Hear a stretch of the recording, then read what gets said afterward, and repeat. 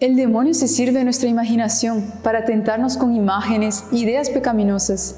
y muchas veces no tenemos control de nuestra imaginación, sobre todo en el mundo actual en que los medios de comunicación constantemente proyectan escenas que no están de acuerdo con la moral católica.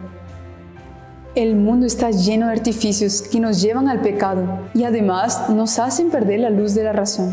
Pero nosotros, siendo católicos, debemos buscar la verdadera sabiduría, aquella que el mundo desprecia, pero que es el único camino que puede conducirnos a Dios. Para eso, utilicemos los dos medios que Él mismo nos dio,